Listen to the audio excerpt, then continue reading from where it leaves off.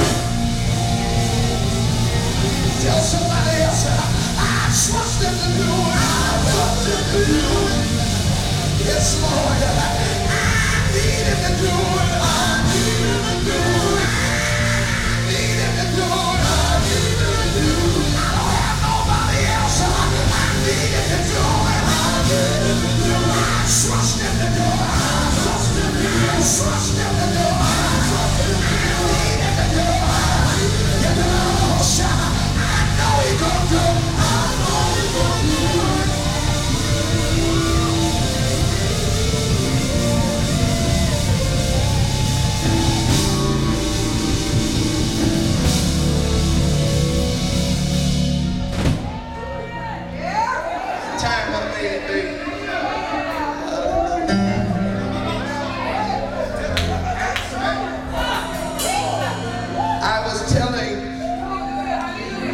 Sister Gwen that God ain't cruel. If he's pulling it out of you, that means he's already poured it in.